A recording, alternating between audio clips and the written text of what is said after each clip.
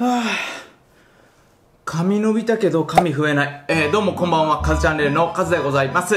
いやー、最近すっげー楽しかった。中でもね、あのー、ゴルフでございますよ。えー、先日ちゃんとね、初めて18ホール回って、えー、っと、145でございました。いや、もっと練習しないとね。ほんで、まあ、本日はゴ、ゴルフじゃございませんよ。本日何するのかというと、テレンと、やっぱ結構多くの方が iPhone8 買われましたね。ただやっぱね、テレビとかでも見た通り、並ぶ行列が全然なかったってのはね、皆さんの記憶にも新しいのではないでしょうか。Yahoo ニュースのトップにすらね、当日見なかったような気する。いつもすっごいね、iPhone だらけのニュースだらけなのにね。まあ、ほん本日、そうだ、あの、検証しようと思ってるんですけど、今こちらの方にね、えっ、ー、と iPhone8 をご用意いたしました。ほんで、テレントこちら、えっ、ー、と、iPhone8 でございます。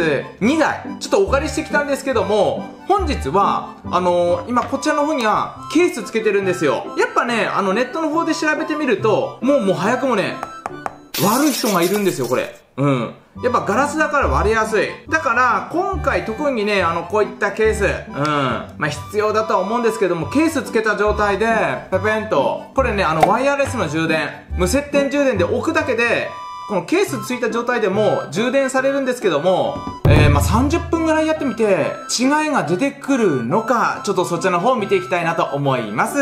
じゃずその前にね、ちょっとあれ、個人的な興味であれやってみたかったんだけど、えっ、ー、と、こちらがね、えっ、ー、と iPhone7 なんですけど、こっちからこっちに色々移行するものの中でさ、まあ、アプリはもちろんなんだけど、Suica ですよ。えっ、ー、と、ちょっとやり方調べたんだけどさ、えー、こちらでございますね。もう45円しか残ってないんだけどさ、あの、これ機種変前にさ、えっ、と、これを削除する？どうやって削除するんだろう？あった。え、ー、と、これでカードを削除するみたいなんですよ。事前にね、事前に削除して、で今この中からなくなったじゃないですか。これ iCloud もいろいろサインアウトしておきました。ほんでこれ機種変前にね、やるべきことって書いてあったので、できるかどうか怪しいんだけど、見てみよう。えっ、ー、と、ウォレットの方で、よいちょ。いけっかなあ、スイカある。あ？あ、多分いけた。お使いのカードが、あ、来た来た来た来た来た。あ、すげえ簡単じゃん。あ、消してやるだけなんだ。OK 牧場。よーしな、もう気持ちよく、本日の、まあ、検証の方に入りたいなと思います。えっ、ー、と、今回やるのが、まあ、30分で、あの、両者どれだけ充電できるかっていうことで、えっ、ー、と、まず入ってるアプリが色々違うから、ちょっとそこら辺で差がね、少しは出てきそうな気するけど、まずはね、えっ、ー、と、お互い今、パーセント、2%同士。ほんで、えっ、とね、この飛行機モードにしておこうか、これ。こっちも合わせて、今飛行機モードにしておいて、こんでいいかな？あとはちょっとね、あのー、YouTube でも何でも見まくって、いや、iMovie の書き出しとかすればめっちゃいいか。まあ今書き出しなう。まあゼロにしてからどんだけ違うのか、どんだけ回復できるのかを見ていきたいなと思います。な、こっち iMovie 入れてないからゲームで適当に、あのー、落とすわ。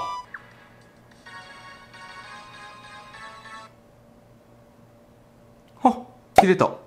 よーし、これで準備は整った。二つとも、えー、飛行機モード。そして、えー、わざわざ、えー、同じやつ二つ用意いたしまして、同じ無接点のやつ、わざわざ二つ用意いたしました。んで、今回は、えーと、片方が、このゴム。まケースつけてあるやつで、こっちはケースなし。さあ、どうなることやら。では早速試してみましょう。いきますよ。はい。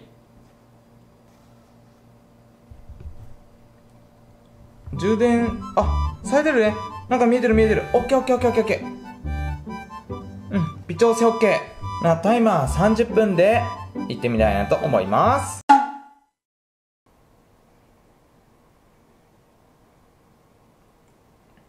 よし、完了でございます。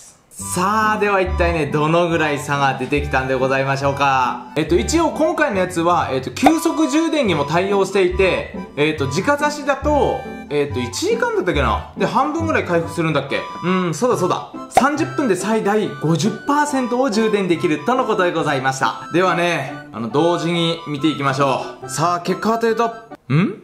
あ、言うほど差なかったな。えっ、ー、と、こちら、えっ、ー、と、カバーなし、えー、13波に対して、カバーあり11波。いや、でもめちゃめちゃ相性とかあんのかな、これ。急速充電30分で行くとか行かないとか書いてあったんだけど、ちょっと今のこの状態だと、この無接点、もう、いや、もうちょっと充電できるような記事見たことあるような気したんだけどな。無接点ちょっと30分で11波、ちょっとしんどいかなっていう感じはする。ただ言うほど熱くなるっていうことは特に今んとこないかな。えー、なもんなんだ。はい、ではね、えっ、ー、と、本日はこんな感じで終わりたいなと思います。えっ、ー、と、まあ、漢字的には、えっ、ー、と、2割、3割、2割、3割ぐらいダウンするといった感じでございました。ただちょっと充電量のあれがね、気に食わない感じはあったんだけどね。また別のやつでやると変わってくるのかな、朝が。まあ、でも2割、3割ぐらい差が出るのは、まあ、確かかなとは思います。うん、ついてたから最後に、自家ケーブルで急速充電30分やるとどうなるかも一応最後おまけでつけておきますね。ほんでまたね、皆さんなんか気になることなどございましたらね、あの、ぜひコメント欄の方に書いていただけると嬉しく思います。ほんでそうだ、まだ iPhone8 プラスもあるからね。それ、どこで使いどころあるんだろう。まあ一番の違いはカメラか。まあちょっとそちらの方もいろいろ試していきたいなと思います。な、最後は、えー、っと、おまけ。30分でどんだけ充電できるのか。まあどれも10%前後。最後これどんなもんだけ？ちょっと見ていきましょう。ぽい。よし、来た来た来た来た来た。これと、5分過ぎてから気づいたわ。あの、古い方充電してた俺。ほんで、まあ、急速充電対応ということで、最大で50%。で、まあ、飛行機モードだからかなり充電できる感じだと思うけど、あ、まあまあまあいったな。10%の段階から見てみるとね、えー、っと、46%、40、49%。まあまあ大体、えー、の10%ぐらいから半分ぐらいまで充電できておりました。まあ30分でこんだけ充電できるのいいよね。まあ以上こんな感じでおまけでございました。バイバイ